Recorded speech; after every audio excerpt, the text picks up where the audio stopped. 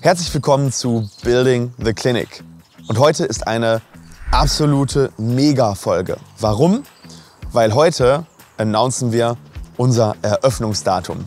Das heißt, wir wissen auf den Tag genau, auf die Stunde genau, wann wir unsere Tore öffnen. Endlich haben die Architekten grünes Licht gegeben und ich kann euch sagen, es wird mega. Es hat sich richtig viel getan. Ich stehe jetzt hier in unserem späteren Eingangsbereich, wie ihr seht. Und da hinten in den Außenbereichen, wir nehmen euch komplett in der Tour einmal mit, hat sich richtig viel getan. Im Erdgeschoss hat sich voll viel getan. Im ersten OG, im zweiten OG, die Bauarbeiter geben gerade Vollgas, denn es ist nicht mehr lang. Bleibt dran, denn diese Folge ist der absolute Meilenstein und wir wissen jetzt, dass die Energie hochgehen wird, weil jetzt geht's wirklich los.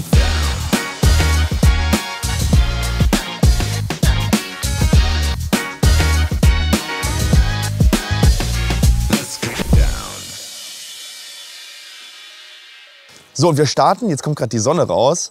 Bisschen schwierige Lichtverhältnisse für meine Augen. Aber wir starten jetzt hier mit unserem Eingangsbereich. Und ihr seht, das ist richtig schön abgerundet. Und dadurch entstehen zwei schöne Beete. Einmal da hinten und einmal ein großes Beet hier vorne. Das ist natürlich noch alles Haufen Erde, das wird alles schön glatt gemacht.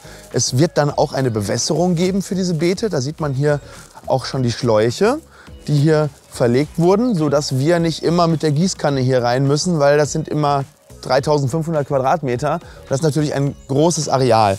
Was ihr seht, jetzt, hier sind schon die Bordsteine gelegt. Und wir gehen jetzt mal hier auf der Stirnseite des Gebäudes nach vorne. Hier seht ihr, wurde schon richtig schön glatt gemacht. Also hier wurde schon planiert, weil hier kommen natürlich später wieder für Fußgänger die ganz normalen Bürgersteige hin. Da ist ja sozusagen noch ein ganz kleines Stückchen übrig vom Fahrradweg. Und hier auf der Stirnseite des Gebäudes haben wir einen zweiten Eingang. Und zwar kommt hier noch ein kleines Pflanzbeet, hier auch wieder die Bewässerung. Und da vorne seht ihr den Eingang in den Eventbereich. Den gucken wir uns gleich natürlich noch mal kurz von innen an. Und dann wird es hier so eine Art kleinen ähm, Aufgang geben. Das heißt, wenn wir Events machen, kann man sich da auch noch mal nach draußen stellen, ne, für die Raucher oder wenn es mal ein bisschen frische Luft sein soll. Das heißt, wir können sozusagen, ohne dass da hinten der ganze Betrieb beeinträchtigt wird, hier Leute rein, rauslassen und kleinere Events dann auch sozusagen isoliert halten. So, und jetzt gehen wir zum Hauptbereich hinter die Klinik. Boah, jetzt ist gerade richtig hell. Ich kann kaum was, kann kaum sehen. Mal kurz warten, bis hier wieder eine. Da kommt jetzt, da kommt jetzt eine Wolke. Ja, hier stehe ich jetzt auf unserer späteren Parkfläche. Naja, auf dem, was sozusagen bis jetzt schon gesetzt wurde. Und ihr seht jetzt hier schon so ein bisschen die Absteckung dieses Parkbereichs. Da hinten wurde der Baum schon quasi einmal umsteckt, so dass dort sozusagen die Parkflächen enden. Und Alex kommt mal zu mir. Hier ist schon unser erster Gully eingebaut. Also wir müssen das ganze Gelände natürlich auch entwässern. Wir haben eine Abschüssigkeit vom Klinikgebäude hin zum Grundstück der Nachbarn. Und dann läuft das hier, hier ist einer der Entwässerungskanäle. Die haben wir früher noch hier rausgucken sehen. Das waren diese grünen Rohre, grün waren die, ne? Und die sind jetzt quasi da unten drin. So, und dann gehen wir einmal noch mal hier hin. Ach, hier ist noch ein zweiter Gully. der ist auch schon eingebaut. Und hier kann man jetzt schon ganz gut sehen, unser erster Stellplatz ist schon fast fertig. Kommt mal mit. Unser erster Stellplatz ist schon fertig. Das ist der vom Alex, ganz hinten. hier. Also hier kann man jetzt so ein bisschen wirklich schon sehen, es wird das Gelände strukturiert. Das wird richtig, richtig schön. Hier kommt natürlich noch ein sogenannter Grüngitterzaun, der wird dann bepflanzt, dass wir so wirklich diesen Parkbereich so schön machen, wie es geht. Ja, und hier ist so quasi der erste Stellplatz, der dann entsteht und die anderen kommen dann hier alle so vor Kopf. Ja, und dann gehen wir noch einmal ganz kurz zu einer zweiten Geschichte. Die ist ganz in der Nähe. Das ist hier, wo der Bagger steht.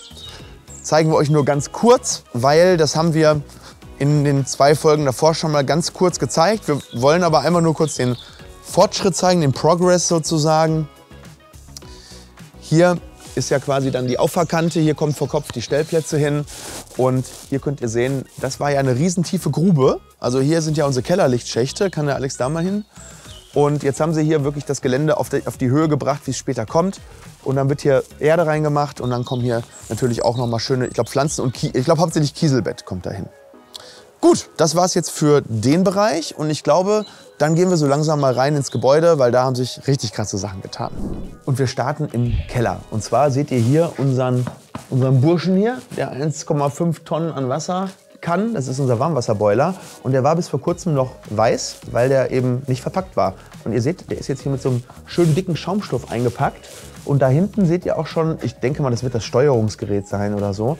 Das haben wir jetzt auch angebracht.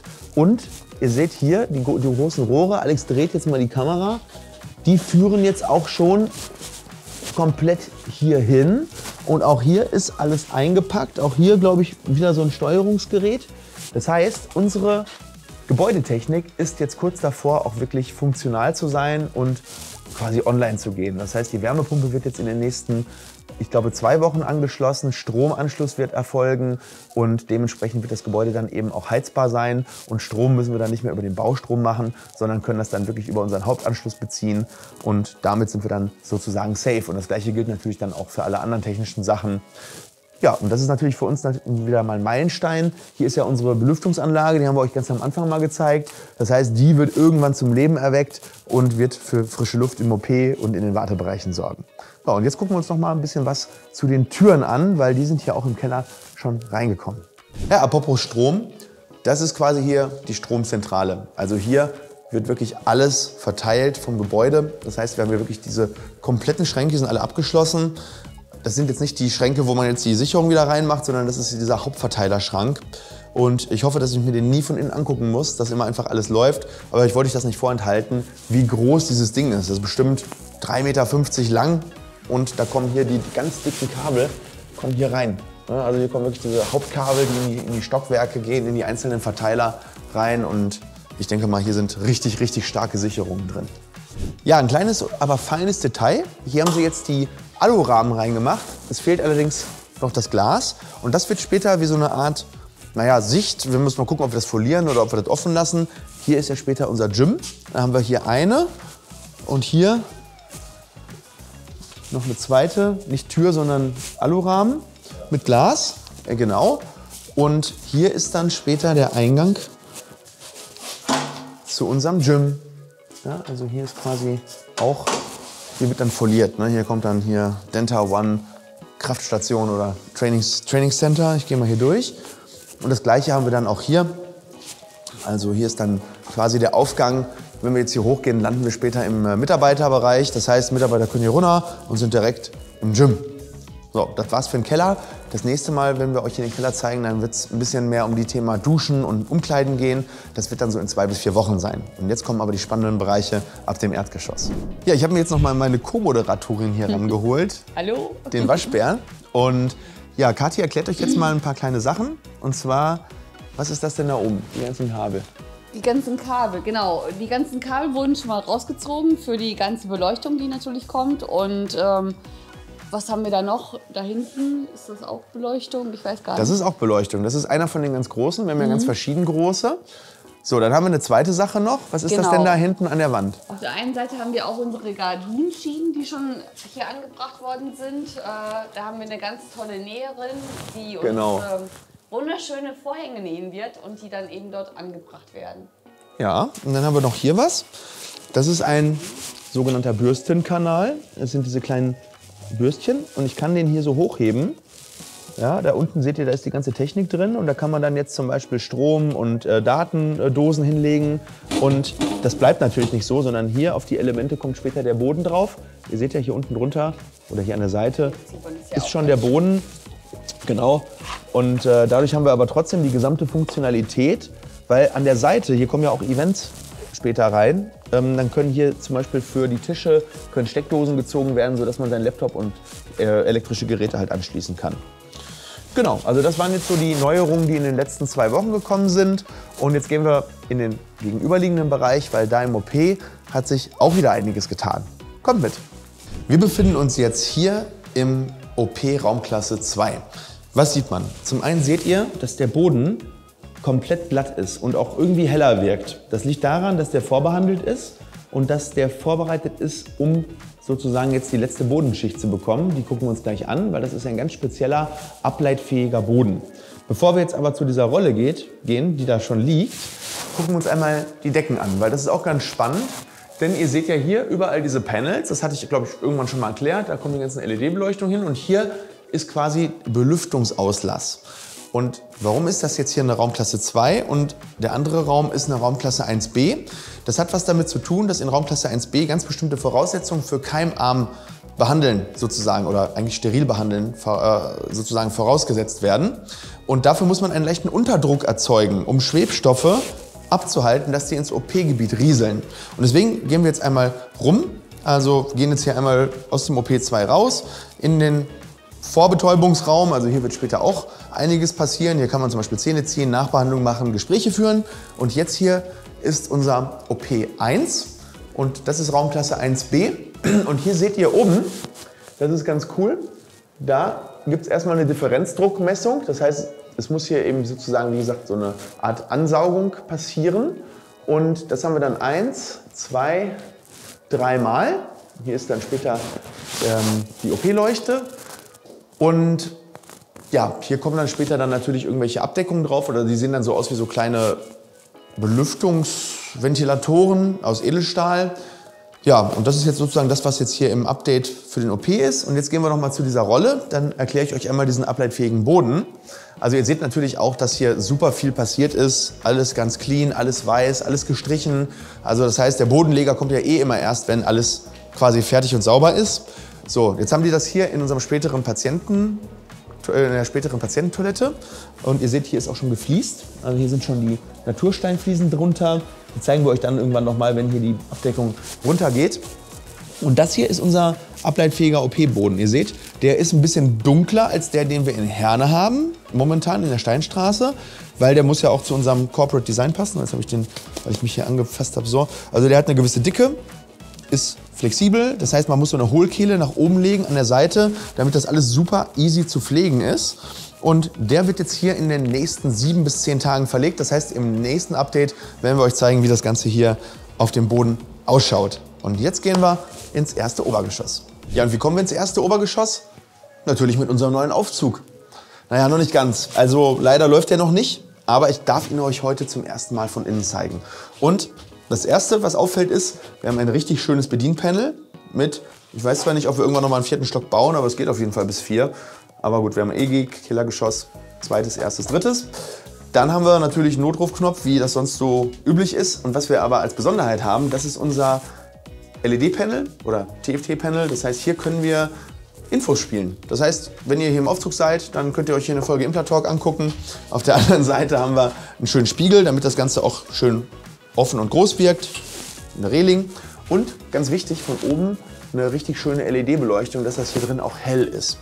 Und was sind die Maße? Aufzug ist 1,20 Meter breit und 1,80 Meter lang und kann, wo steht das immer? Das steht doch irgendwo immer, ne? Wie viele Personen der kann? Weiß ich, äh, weiß ich nicht. Er kann auf jeden Fall 1000 Kilo. Und 1000 Kilo sind, glaube ich, 12 Personen. Gut, wird schwer mit 12 Personen hier drin, aber ich denke mal so 6 bis 8. Das geht auf jeden Fall. Und dann bin ich mal gespannt, wie schnell das Ding fährt. Aber da müssen wir uns noch so ungefähr zwei Monate gedulden. Dann können wir den zum ersten Mal benutzen. Ja. Aber jetzt muss ich leider ins erste OG laufen. Alex, merkst du das? Wir sind hier, wir sind hier nicht alleine. Ich habe irgendwie das Gefühl, guck mal da, guck mal da. Was ist das? Das sind Spuren. Das sind Spuren. Das ist wie bei Seven vs. Wild. Ich weiß nicht, ist das ein Bär oder ein Waschbär oder eine Bisamratte? Ich weiß es nicht, aber es sind wirklich Tierspuren. Guck mal da. Da, da, da, da. Läuft hier rum. Irgendwas, da, guck mal da auch. Irgendein Tier wohnt schon in dieser Klinik. Wisst ihr, was das ist? Jetzt mal ganz ehrlich.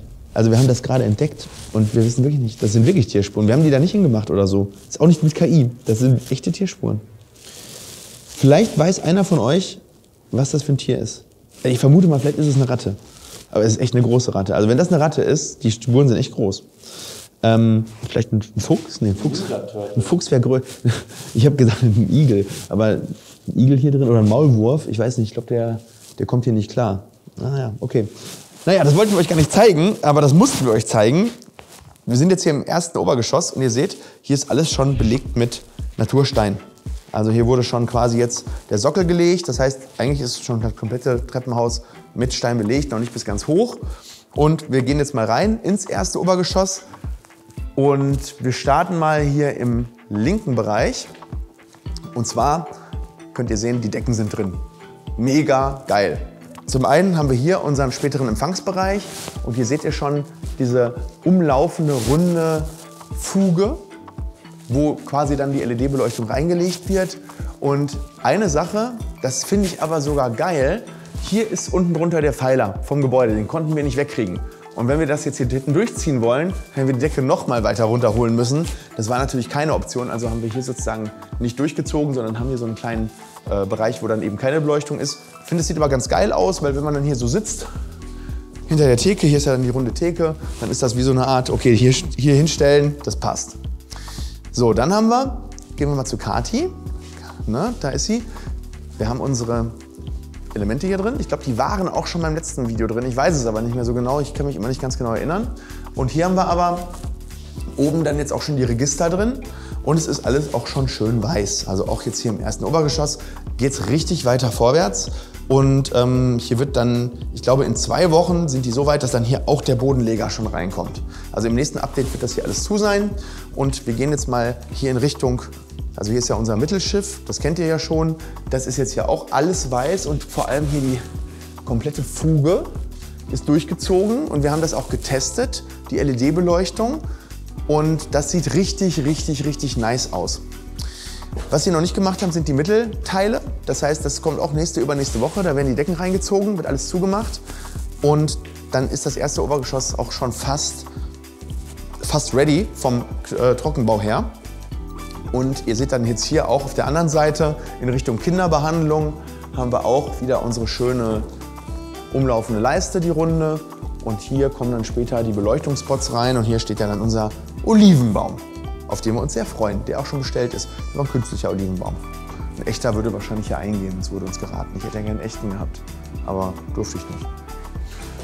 So, und jetzt gehen wir ins andere Gebäudeteil, weil da sind sie sogar ein bisschen weiter. Das gucken wir uns jetzt an.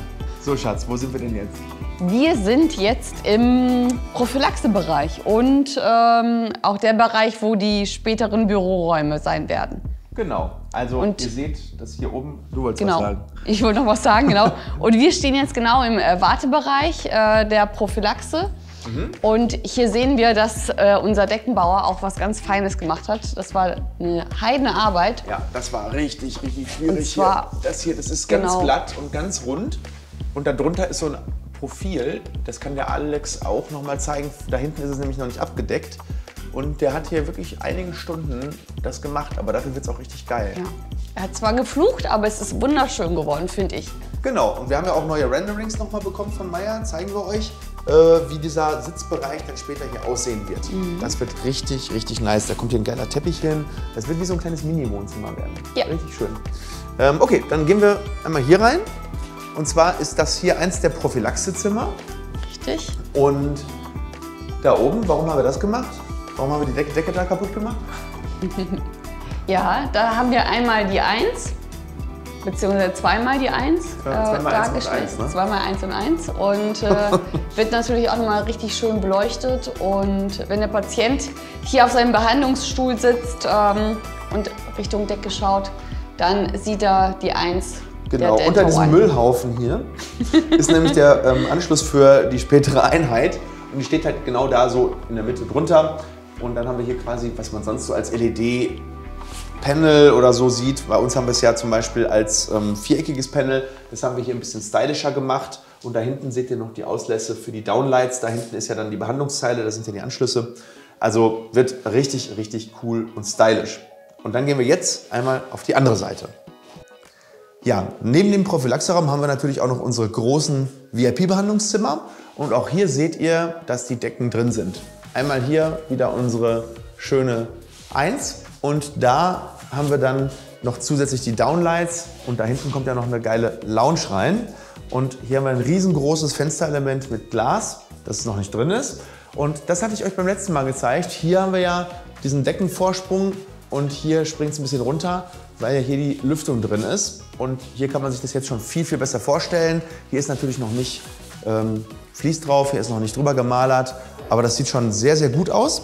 Was man auch sehen kann, hier die Sockel, das ist alles schon trockenbaumäßig verkleidet.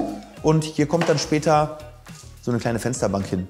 Die kommt wahrscheinlich dann in den nächsten, ich würde sagen wahrscheinlich vier Wochen. Und dann gehen wir nochmal in den VIP-Wartebereich, der ist auch ganz schön. Da wartet auch schon die Kati auf uns. Und äh, ja, das gleiche hier, super, super hell mittlerweile schon.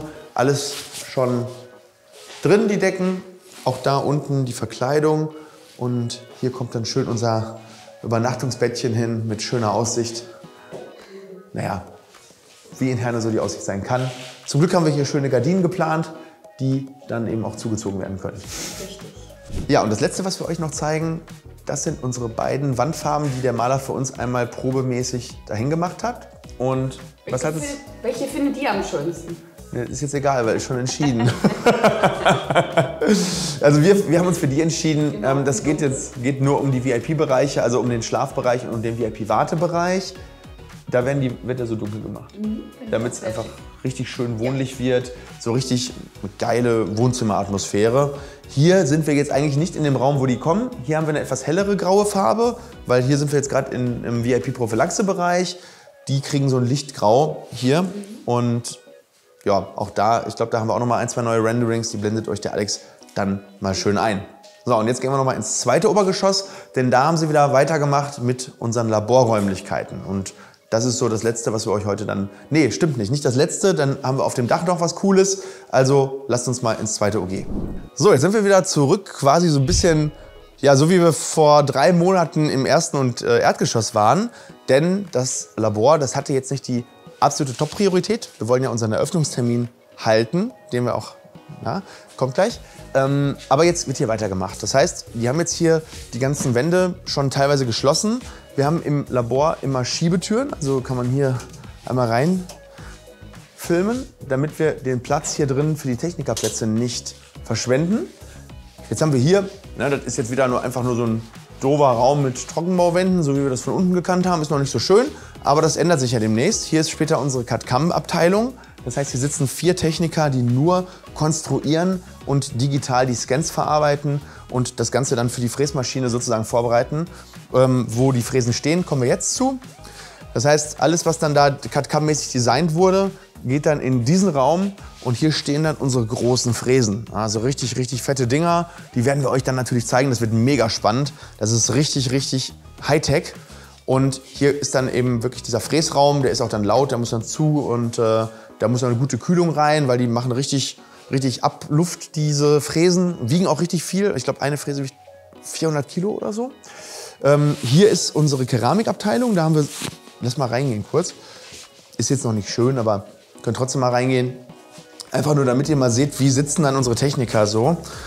Also hier werden zwei Technikerplätze sein auf der Seite zwei Technikerplätze auf der Seite und deswegen haben wir halt eine Trennwand eingezogen in diesen etwas größeren Raum. So können wir diesen Mittelbereich doppelt nutzen. Das ist quasi wie so eine Art Vierer-Schreibtisch, bloß dass eine Wand dazwischen ist, weil ein Techniker immer ganz viel an der Wand hat, was er braucht, Dremel, Fräsen und so weiter. Und hier müssen natürlich auch immer überall die Techniker-Maschinen stehen. Und hier haben wir das ganze Gleiche nochmal gespiegelt. Das heißt, hier sitzen auch nochmal wieder vier Techniker. Das heißt, wir haben eine Keramikabteilung für bis zu acht Leute. So, und jetzt gehen wir nochmal Stück weiter. Ne, Keramikabteilung ist natürlich nicht das Einzige, was man im Labor braucht, sondern wir brauchen natürlich auch Kunststoff und Gips und Metall. Ne? Und das ist dann eben hier, das ist das gleiche wieder. Hier sind auch wieder sozusagen zwei, vier, sechs, acht, so ungefähr. Hier ist dann die andere Seite. Also wir haben, ich weiß gar nicht, ich meine, wir haben 16 oder 17 Technikerplätze für das äh, Labor. Und hier kommen wir dann in diesen Bereich, hier ist eine kleine Küche für die ähm, Techniker, hier kann man dann eben Mittagspause machen. Und hier sind dann die dreckigen Bereiche, also Gips und ja, Vorbereitung sagt man dazu. Ne? Hier werden die ganzen Arbeiten, die reinkommen, erstmal ausgepackt und da ist der dreckige Bereich. Und je weiter wir nach da hinten kommen, umso sauberer wird es dann halt. Genau, und jetzt gehen wir noch mal einmal rüber in diesen anderen Gebäudeteil, weil die, das Labor teilt sich quasi die Mittelinsel mit der Leadership Area auf der anderen Seite. Das heißt, hier kommen wir durch. Hier ist auch noch nicht ganz so viel passiert. Und hier kommen wir dann in unserem Bereich. Hier steht später der Server. Das wird aber später irgendwann mal ein Behandlungszimmer. Warum steht am Anfang der Server da? Weil wir noch nicht einen Cloud-Server nehmen konnten, weil wir noch kein Glasfaser haben. Und Glasfaser wird erst 2025 bei uns ans Gebäude rangelegt. Deswegen haben wir den Server erstmal dahingestellt, weil wir den Platz haben. Und hier entsteht am Anfang erstmal unsere Social Media Abteilung. Die haben einen richtig schönen offenen Bereich hier. Später kommen hier Behandlungszimmer hin, da müssen wir mal gucken, wo wir die dann äh, irgendwann mal wieder auslagern, die äh, Social Media Abteilung. Das ist aber noch ein paar Jährchen hin. Genau. Und jetzt gehen wir noch einmal aufs Dach und dort erfahrt ihr dann auch das große Announcement. Ja, unsere Terrasse war ja schon fast fertig. Allerdings hat ein Bereich noch gefehlt und das war unser Ausgangsbereich, wenn wir sozusagen durch die Schiebetür rausgehen. Und jetzt sind die ersten Holzlamellen gekommen. Wir haben wirklich so ein richtig schönes, ist natürlich jetzt dreckig, ne, weil hier gearbeitet wurde, ein richtig schönes bräunliches Holz, nicht so ein, ihr kennt ja vielleicht dieses Teakholz oder Teakholz, wie das heißt. Das wird nach einer Zeit so richtig dunkel. Und das war so ein bisschen die Alternative und wir haben uns gesagt, wollen wir jetzt dieses Teakholz wirklich haben? Und wir haben uns dann entschieden, wirklich ein echtes Holz zu nehmen. Ich weiß jetzt gar nicht mehr genau, was es ist. Ähm, muss ich euch nachliefern in den Kommentaren. Aber wirklich ein ganz, ganz tolles Holz. Hier seht ihr, wie das aussieht, wenn es noch einigermaßen sauber ist. Das muss natürlich einmal richtig abgestrahlt werden, weil es voll mit Sand ist. Und was man auch sieht, hier oben haben wir jetzt die Glaselemente schon drin. Das heißt, wenn es jetzt regnen würde, wäre ich jetzt schon im Trockenen. Da wird jetzt in den nächsten ein, zwei Wochen, wenn man hier mal guckt, das ist ja alles noch unverkleidet. Das musste aber noch so sein, weil die ganzen Kabel die dann in diese Lamellen reingezogen werden, später für die LED-Beleuchtung und später auch für ein Soundsystem.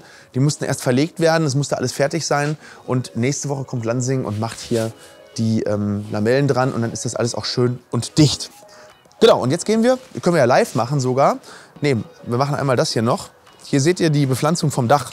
Ist auch nochmal ganz interessant. Ne? Wir haben diese Kiesel und in der Mitte gibt es so eine Art ähm, ich weiß gar nicht, so, so eine Art Nährboden. Und hier werden Samen eingebracht und dann wird das ein sogenanntes Gründach. Das dauert dann wahrscheinlich ein paar Monate, bis man davon was sieht. Und das wird jetzt einmal rundum gelegt. Auf der anderen Seite ist es deutlich dicker. Da hinten stehen noch, glaube ich, boah, fünf Tonnen von diesem Sand. Weil wir haben da einen viel breiteren Streifen. Da kann der Alex mal hinfilmen. Das ist so zwei Meter breit. Da ist einfach viel mehr Platz. Und über die Fläche hinweg macht das dann richtig, richtig viel aus. Und auch auf der Stirnseite des Gebäudes ist nochmal ein riesengroßer Bereich, wo das halt gemacht wird. Also hier ist es natürlich viel, viel mehr. Und dementsprechend wird das hier so ein bisschen, bisschen grüner. Und jetzt haben die hier hinten Folgendes gemacht. Hier geht es ja in unser kleines Häuschen rein. Und jetzt haben die die Wärmepumpen hier oben hingehieft, die Dinger. Die wiegen ja 2,3 Tonnen, meine ich, eine. Also eins und zwei. Und dann haben sie so kleine Lamellen von außen gemacht. Wir haben das ja als Drohnen-Footage nochmal. Dann seht ihr, wie das von außen aussieht. Und ähm, im Endeffekt wird jetzt hier Anschluss, ähm, der Anschluss gemacht an das Gebäude. Das heißt, die werden dann noch angeschlossen. Ich glaube, da vorne kann man das sehen. Du müsstest mal da reingehen, Alex. Da sind die Anschlüsse, wo es dann wirklich dann, ja, wo die Wärme äh, rauskommt oder, oder reingeht, wie auch immer. Und da unten geht es ins Gebäude rein. Da. Da wird es ins Gebäude reingeführt. Und ja, nach meinem laienhaften Verständnis ist hier sozusagen das Herzstück für die gesamte Heizung des Gebäudes. Ja, und jetzt gehen wir noch mal einmal kurz nach vorne, denn ich weiß, ich bin euch noch eine Sache schuldig. So, und jetzt ist es endlich soweit. Nach 2020, wo wir mit diesem Projekt angefangen haben, darf ich euch heute den definitiven Eröffnungstermin unserer Klinik mitteilen. Und es ist der 13. Mai 2024. Am 13. Mai werden wir einen richtig tollen Tag der offenen Tür machen für alle Patienten, für die gesamte Community. Wir können alle zusammenkommen und diesen wunderbaren Moment feiern. Das heißt, ihr seid herzlich eingeladen. Schreibt in die Kommentare, kommt ihr vorbei, freut ihr euch, genauso wie wir. Und ähm, wir werden in der Woche vorher mit dem Team, es gibt quasi noch ein Pre-Opening mit geladenen Gästen, mit Geschäftspartnern. Das wird am 4. Mai sein. Und dann ab dem 6. Mai schließen wir uns eine Woche in dieses Gebäude ein. Und dann werden wir mit unserem Team versuchen, so fit wie möglich zu werden. Wir werden am 13. Mai so fit sein, dass wir sofort loslegen können, dass wir für euch 100% Leistung bringen können, 100% Service. Es soll Zahnmedizin neu erleben werden. Und da haben wir jetzt noch 10 Wochen Zeit für. In 10 Wochen geht es los. In 10 Wochen geht es los. Das bedeutet, wenn ihr von Anfang an dabei sein wollt, dann könnt ihr euch Behandlungstermine ab dem 14. Mai buchen. Der 13. Mai ist wirklich dieser Tag der offenen Tür. Da gibt es auch was zu essen, zu trinken und so weiter. Und am 14. Mai geht es los. Das heißt, wenn ihr am ersten Tag schon dabei sein wollt, geht auf unsere Webseite Dr. Flex Buchung und bucht Termine. Weil ich weiß, einigen von euch ist das super wichtig und dementsprechend Wer es jetzt als erstes sieht, der malt zuerst und darf am ersten Tag mit uns Zahnmedizin neu erlebbar machen.